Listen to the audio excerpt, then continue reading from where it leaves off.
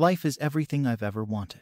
It's perfect. All of it. Two months ago, I injured my leg and was bedridden for a bit. I had no choice but to read Neville and fully understand it, regardless of how confusing the words were or how boring they were. I tried making the most amount of sense of it, and finally, everything clicked. So, first tip please try understand Neville as best as you can. These are the essentials to getting anything you desire. Hopefully, after my post, you won't have to ask any questions and you can get on your journey. Your self concept. Ask yourself, whom would you be if you had your perfect life? For example, I picked that I'd be someone who felt loved, important, successful, blessed, and attractive. This is who I'd be if I was with my SP, had money, and lived well. The reason we do this is that we manifest who we are, and we can only manifest what we believe we are deserving of.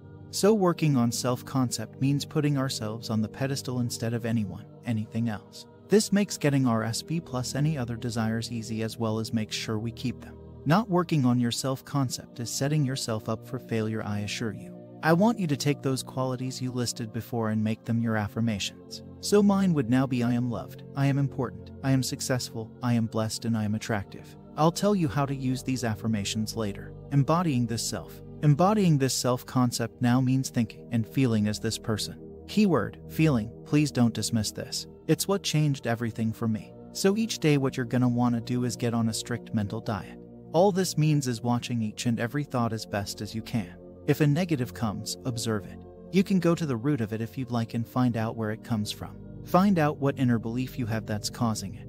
But for me, I just like observing them and watching them roll past without any further mental conversation about it. It let them starve and die off. You can even say the opposite if you'd like. Find which way works best for you. However, always remember that you're going to continue this mental diet forever. It doesn't stop. Now, with feeling, I was always under the impression that feeling is something that will just magically come by saying affirmations that just sound like words to me. I'm sure someone will tell you that saying them will impress your subconscious, and you'll start believing it, but this is only true if there's feeling attached to it. I could affirm I am a billionaire for the next 12 months with no other thought without feeling, and I assure you, I will not somehow become a billionaire. Please trust me on this. So, how do I get feeling? As Neville says, ask yourself how would you feel were this true? So, as you affirm for a few minutes throughout the day with each of your affirmations, ask yourself, How would I feel were I loved? Or how would I feel were I important? And you can put a little nice mental picture in your head of a situation where you're loved or whatever you want. Just as long as you feel that feeling of it being true inside of you.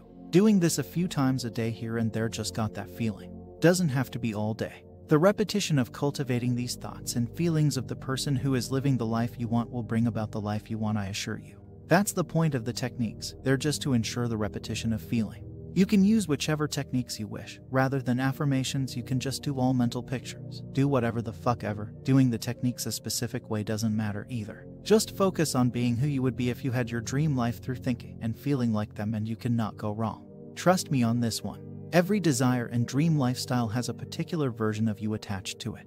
The difference between you and this version is just a matter of thoughts and feelings. I believe that you can achieve living your dreams. I truly do. You all have the gift of this knowledge. But always remember it's all about you. It always has been.